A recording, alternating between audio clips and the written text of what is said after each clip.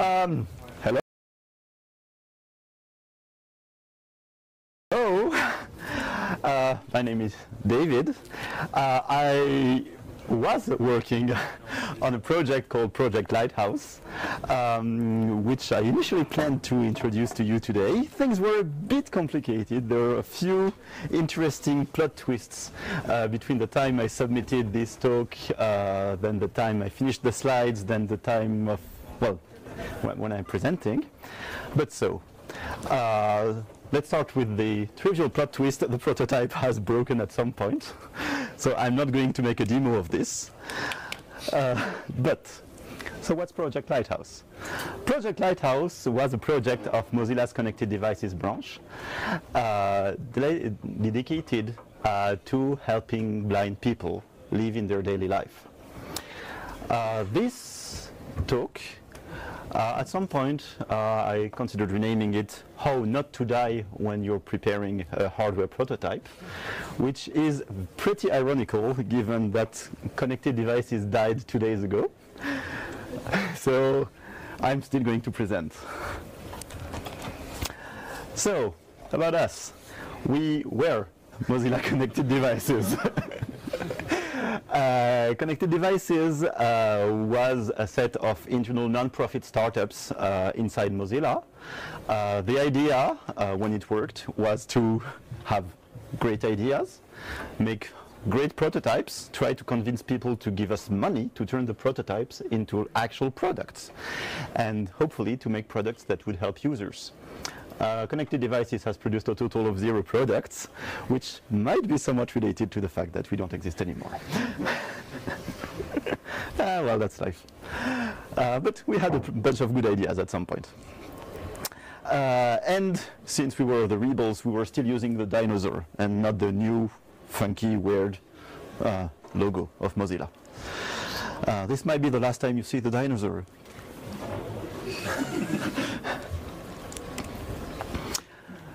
So, I didn't really tell you what this about, is about. I mean, what uh, Project Lighthouse is about. Because initially, Project Lighthouse was about uh, we know how to use cameras, we know how to program this kind of thing. Can we do something not creepy?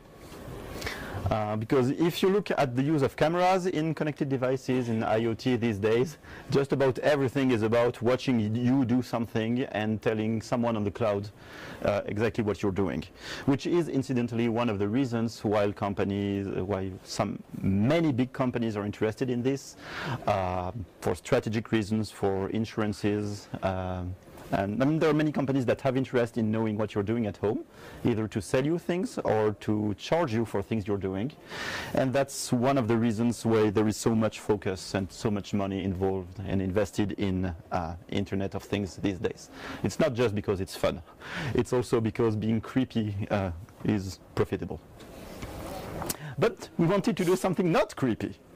So, uh, what can we do with a camera, a Raspberry Pi, and a microphone and a speaker that happen to draw more juice than the alimentation of the Raspberry Pi can provide, which is the pretty much why I cannot do, do the demo today. Uh, not the only reason. Um, and can we do something useful? So sometimes the solution meets the problem because there turn out to be some people who have interest in having a camera and something interesting done with the camera some people's lives can be changed with camera. So according to the World Health Organization, there are close to 300 million uh, users, uh, sorry, people uh, who live with a sight impairment. About 30 million of them are entirely blind, uh, but still, that's many people who have trouble in everyday life recognizing objects, for instance. This means that in shops, these people have lots of trouble uh, they need help to find out exactly what they're buying.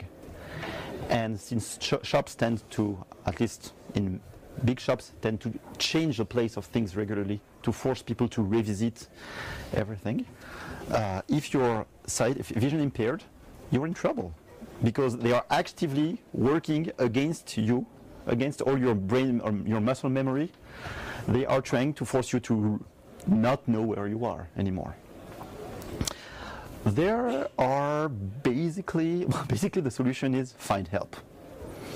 So there are a few devices uh, that um, I know of, essentially two specialized devices uh, to help people uh, in this kind of situation.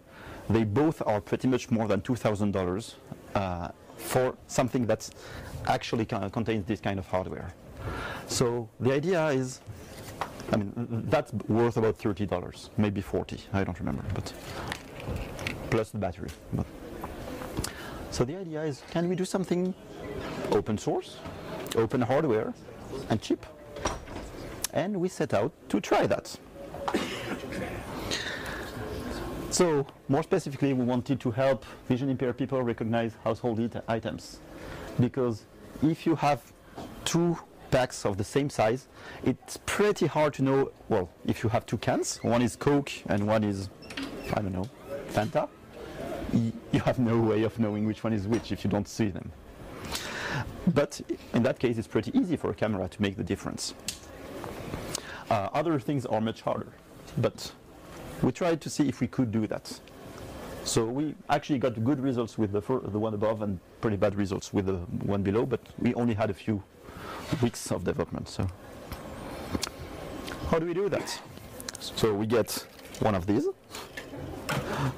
one of these, that's, uh, a, that's a small camera. A little software, two developers, uh, oh, sorry, yeah, lots of OpenCV, Python, so two developers working for a few weeks' time.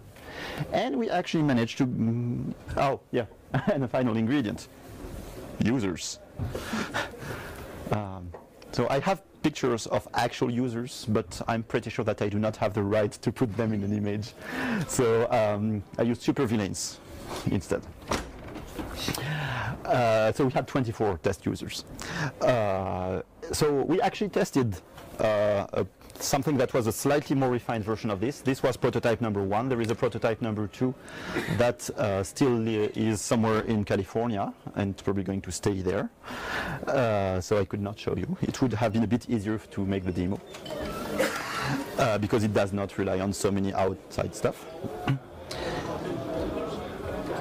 and so I, I call this presentation lessons learned. So lesson number one learned if it hasn't been tested by users, it doesn't work. It, just because it's cool, just because it has code, just because we had fun developing it, doesn't mean that it works. So we were lucky, after relatively few iterations, we got something nice. So that was prototype 2. Um, it's a bit ugly, but not quite as ugly as that. And our lessons were, yes, not all of these 24 users were interested, but enough of them were interested that it was worth doing.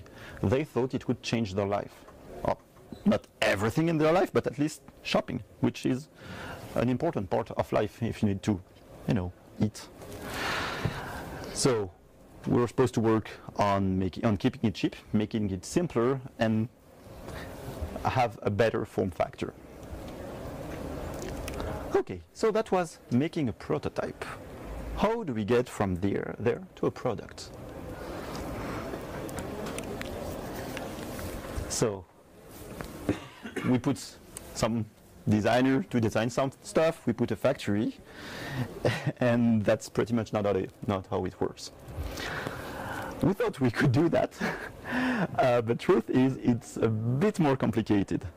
So I found a document on, on a blog that details a little bit more the process from the time you get the hardware prototype uh, and a good industrial design to the time you can actually ship it.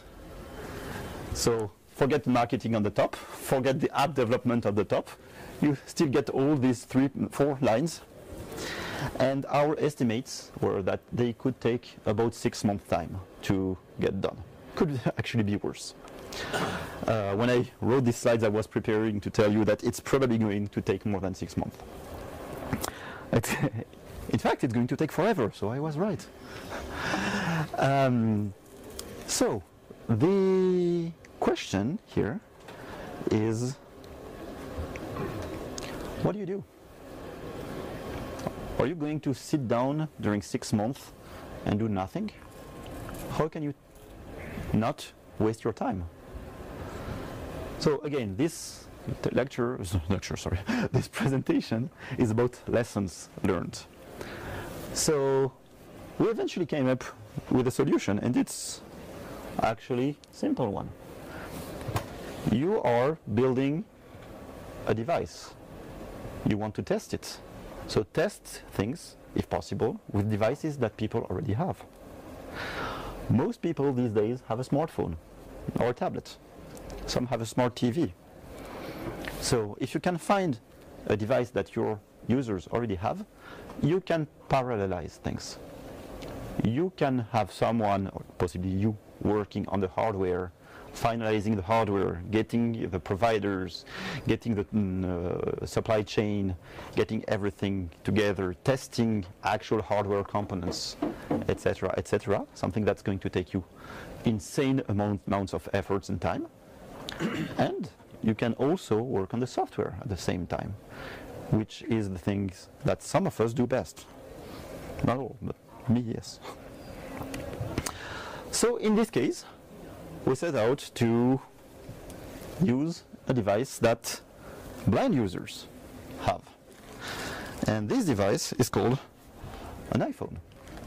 It turns out that a huge number of we actually have no, uh, numbers of blind users, not, not vision impaired users, but for blind users, it turns out that many of them have iPhones.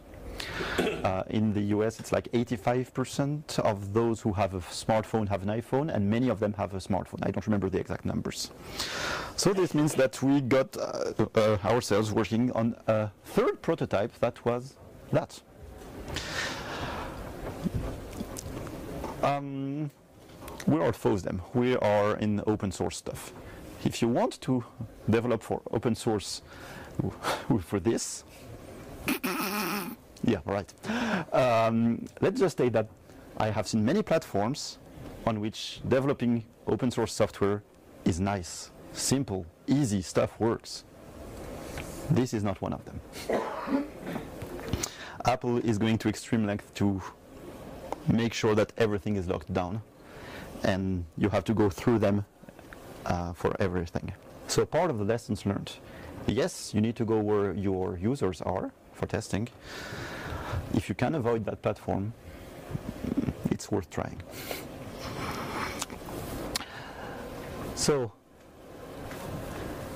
we actually only got three weeks of work on that. So most, uh, sorry, five weeks. Most of the time for me was spent actually getting Xcode to work, getting unit testing to work and trying to actually release binaries.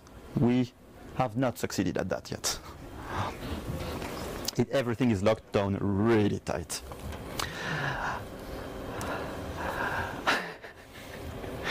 so, at this stage, it would be a great time to discuss the next steps. What have we done? We have an early prototype of that. Oh, I could actually do a demo of that. You want a demo of that? Yes. Let's see if it works. so. Mm, Place the item to be registered in front of you don't hear anything, do you? Three, one. Next, hold the camera still and Oh, there are plenty of people behind the camera. two, one. After the Oh gosh, completely failed. Okay, so uh, a complete failure. So it was trying to find out which was the interesting object in the scene, and apparently the interesting must, must be somewhere on the. Uh, anyway, is not the interesting object.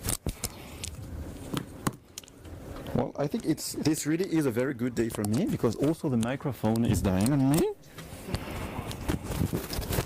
hold the camera still and Okay, let's forget about this demo. so, let's pretend that I have a very nice demo. what should the next steps be?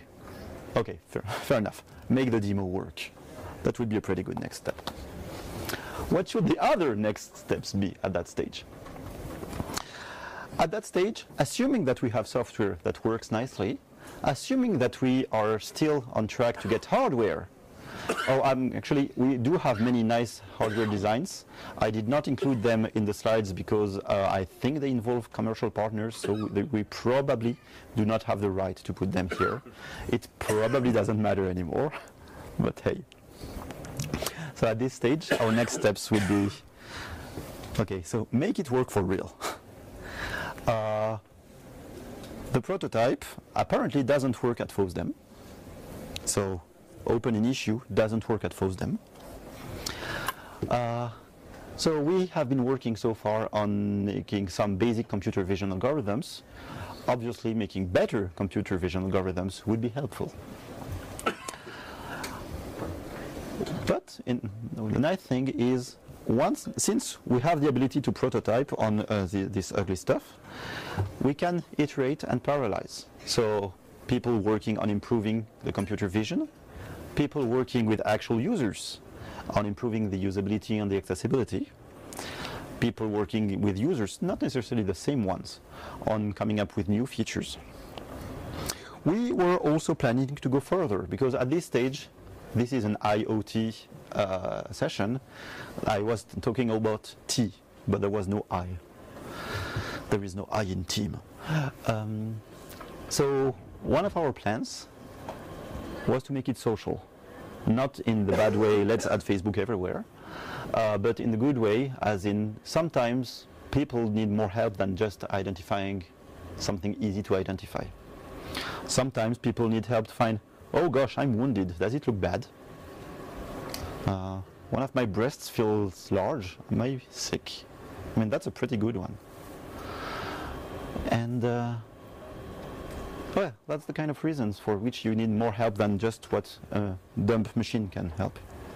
So we wanted to help people share their questions with people they trust. Um, and possibly in cases that were more much broader, share questions with just about any volunteer. So we were in parallel starting to work on a platform for crowdsourcing uh, questions from people with sight impairment, such as what is that object? What am I doing here? And that is probably not going to be released ever because there is no single line of code written yet, uh, and nobody paid to do it anymore. But that was the plan. So, in parallel, as I said, if you don't want to die, you want to avoid multiplying uh, devices, real devices. But you can, again, fake stuff using existing devices. Once you have software running, I mean, one of our industrial designs, for instance, was uh, actually a necklace, a relatively heavy necklace containing, well, basically this. And that's something that we can fake easily if we have software. We can easily make prototypes that don't have to go through uh, a factory for that. You can pick, ah, pick a real necklace or anything that fits around your neck. Try it and attach stuff. That's not sufficient for commercialization, but that's more than sufficient to find out whether it's too heavy for users or whether users actually manage to point the camera in the right place. Uh, because we actually got tests, and tests actually say that blind people point cameras very well. That's, uh, that was a very good surprise. Uh, they have uh, difficulties judging the distance, so it's sometimes it's too close, but it's centered, and that's good because that's something that needed to be tested. Um, so anyway, if you, you want to avoid relying on having a finished hardware device before you can iterate, and one of the ways to do it is to have fake device. So just something rigged together using a device for which you already have software. Also, one thing you do not need to, to forget if you are working and if you want to somehow release a hardware device is that it does not stop there. You probably have lots of legal things to cover that we are not used to in the open source world. In this case, people could possibly have accidents because of this, physical accidents.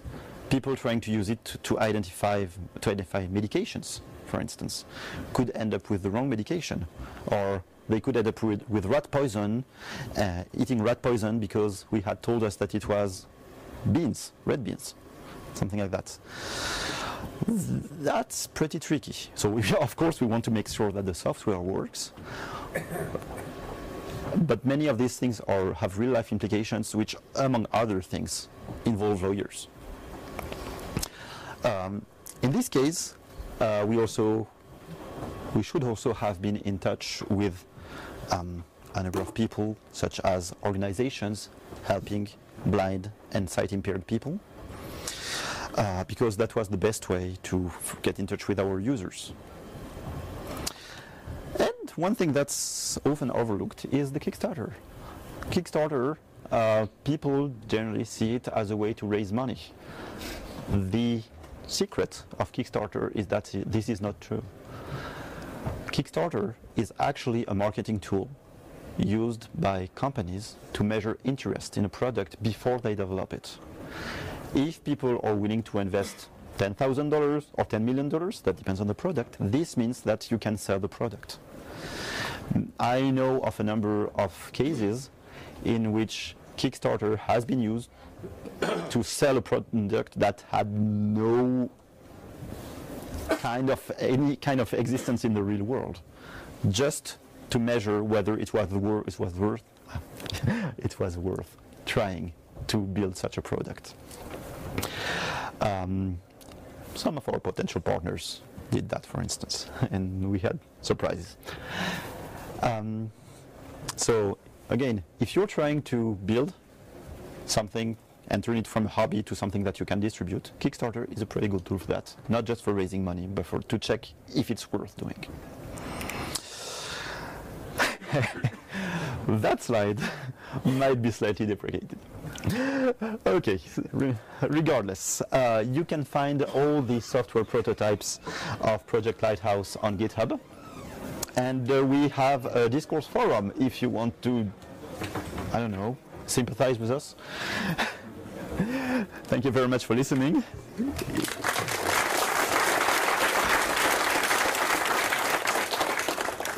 And if you have questions, I will be happy to try and answer. Yes? What's going to happen with the prototypes, all the work you've done for Lighthouse? Uh, software? Or is that So, uh, to, what's going to happen with the prototypes of Lighthouse? Will they be released? So, the software prototypes are on GitHub already. I mean, we need to put a license because we just forgot that in the rush, but they're on GitHub. Uh, the hardware design prototypes, I don't know. I would like us to release them. I do not know if they belong entirely to us. If they belong entirely to us, I think we can release them. If they don't, we probably can't. Ye- yes? I was just wondering, so many blind people, and I imagine you have smartphones, Yes. um, did you consider just making an app and not bothering making your own app? So the question is, if so many blind people and vision impaired people have smartphones, why not just make an app? We also considered that. Yes, that was a separate track. I, I, I mean, I'm an IoT session, so I was concentrating on the IoT stuff. But yes, we considered uh, continuing the app track past the prototype phase.